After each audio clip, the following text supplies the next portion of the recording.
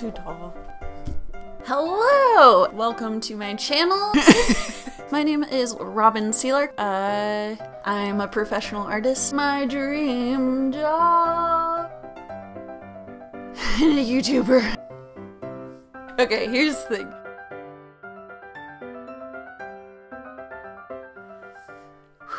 Okay guys, I'm going to get real. I'm going to strip this back. I'm going to stop making this harder for myself than it should be. I have gone through a lot of very long takes trying to come up with something profound to talk about. This just isn't that kind of week for me. I gave myself a week to just paint and I had a really great time and I have time-lapse footage to show you and I have some thoughts and I'm just going to let them well, the joke's on me because welcome to Take Six.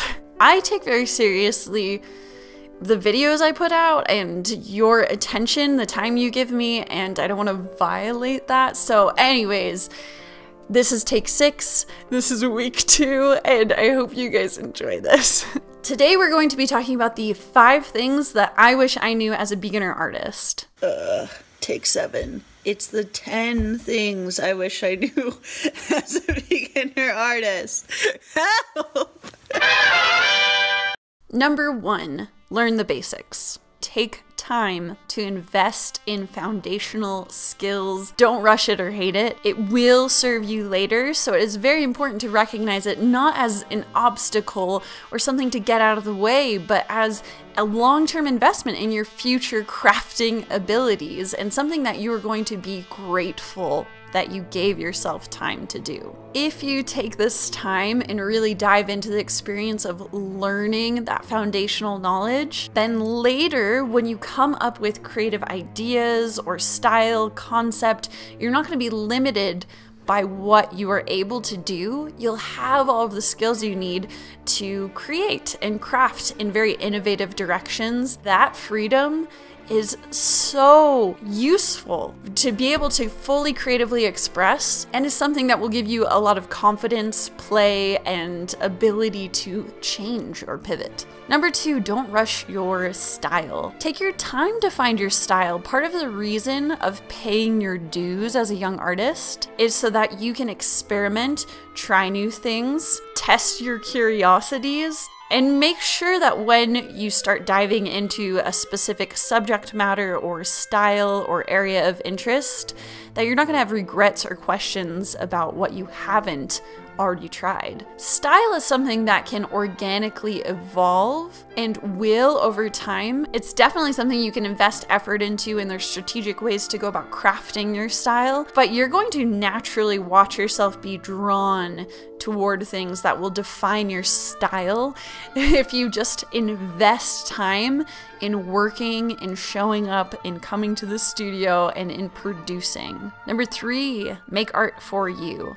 Don't obsess over the product. When you're in the beginning, you will stunt your growth if you stick to only what you're good at or what you think people will like, what you can post or share online, what you can confidently flip through in your sketchbook and elicit people being impressed by you. Milk sink in to being a beginner.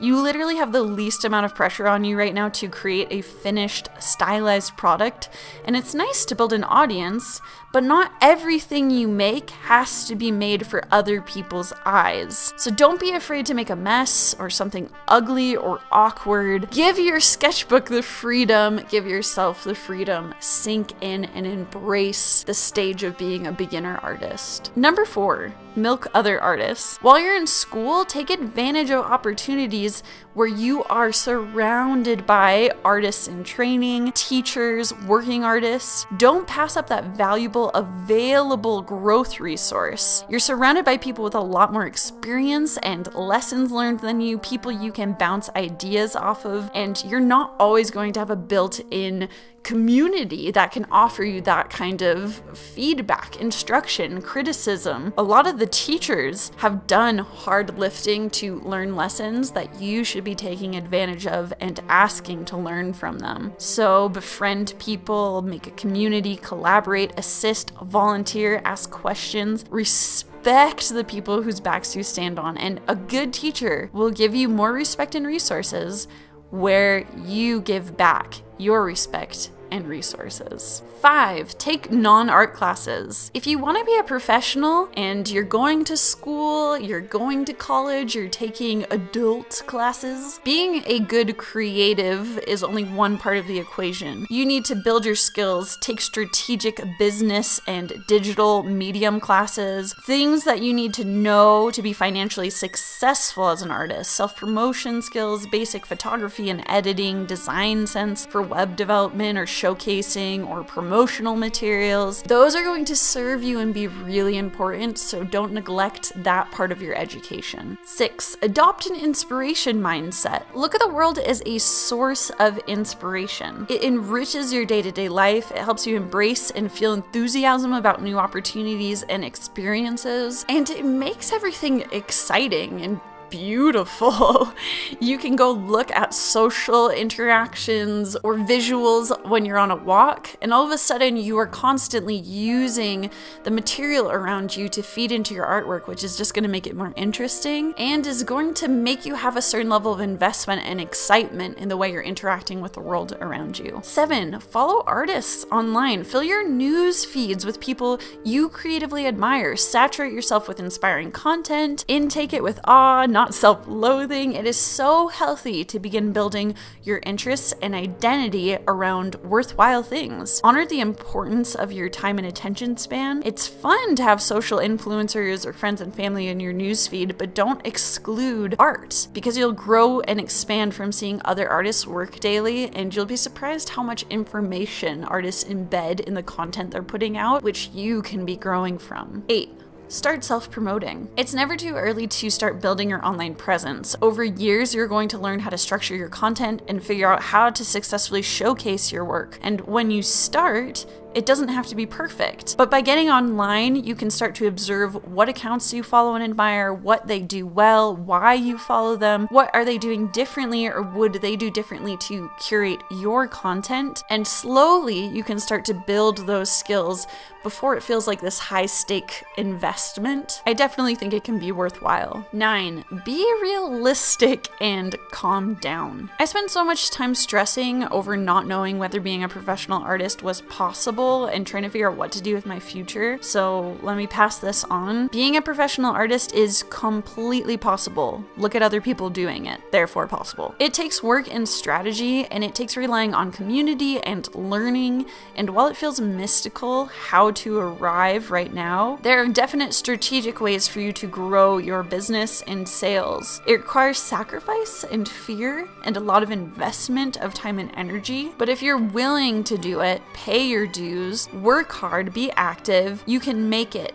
but you have to be realistic about your expectations because art is not an easy job and being creatively skilled is only one part of carving your career. Business is a big component. So know what you're signing up for and be realistic about what your expectations can be and how much work and risk and fear will go into this possibility. 10. Competence breeds confidence so fear not. Fear and anxiety hold you back. They push you to make fear based decisions, which limit your creative energy. So, to learn, innovate, grow, you have to be willing to take risks, ask questions, put yourself in vulnerable situations and on display, and you need to be open to critique or rejection, as well as acceptance and celebration. While anxiety is real and valid, the best thing I've done to decrease my fear is to be very intentional, hardworking, and give myself reasons to respect myself. Because when my confidence is rooted on solid ground, I am much less vulnerable to negativity. If you don't feel confident in your abilities, place your confidence in something else, which is very valuable. Your effort, your willingness to show up and put yourself out there, your humility, your ability to accept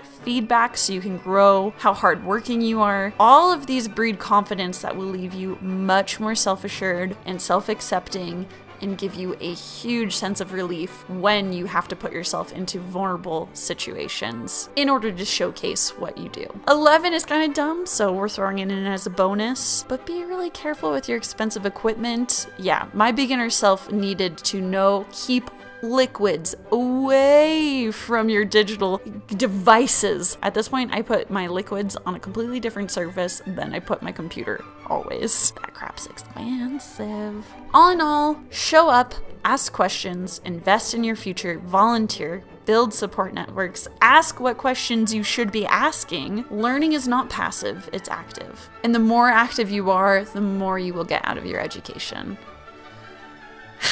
Six take, I think I freaking nailed it. Watch me go to editing and get self conscious and come back with a take seven. Nah, you really did nail it, brah. Woot. No, no, this is where I'm ending it. I hope this was useful and good, and if it wasn't, I apologize. I will do better in the future.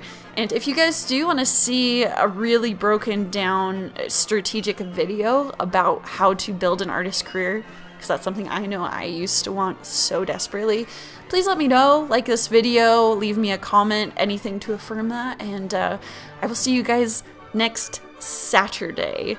Um, make sure you're subscribed to my social media so you can follow along. Check out my Patreon if you want to support this channel or be more involved. And I will see you guys in a week. Bye. Bye.